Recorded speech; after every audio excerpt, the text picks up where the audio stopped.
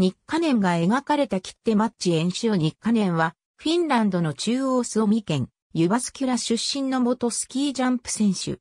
映画、イーグルジャンプでは、主人公エディ・エドワーズと同じスキージャンプ90メートル部門に出場し、オリンピック史を塗り替えた選手として、スウェーデンの俳優、エドビン・エンドレが演じた。ニッカネンは1982年のオスロ、世界選手権で18歳の時個人90メートル級で優勝を飾った後、1984年、サラエボオリンピックでは、個人70メートル級で銀メダル、個人90メートル級で金メダルを獲得した。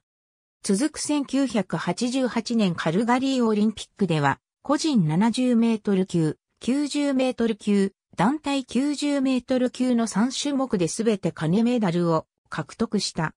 ワールドカップでは、ポーランドのアダム・マリシュと共に、史上最多タイの4回の総合優勝を果たしている。出身国のフィンランドでは知らぬ人はいないほどの国民的英雄でもあった。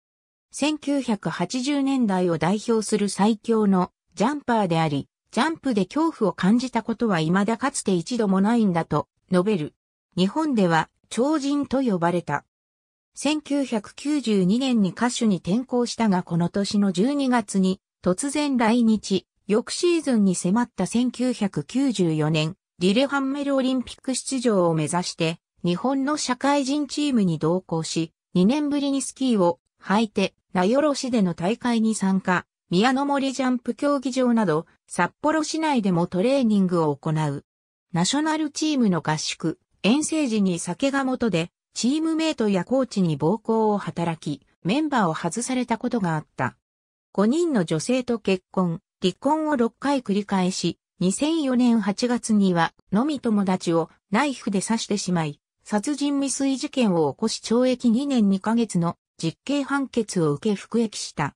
日課年は2005年9月に釈放されたが、4日後にメルビプ人の虐待事件で再び逮捕されて有罪となり、2006年3月16日から4ヶ月間服役した。その後も2009年12月に再びメルビプ人への傷害で逮捕された。2006年1月、日課年を題材とした映画マッチがヨーロッパで公開された。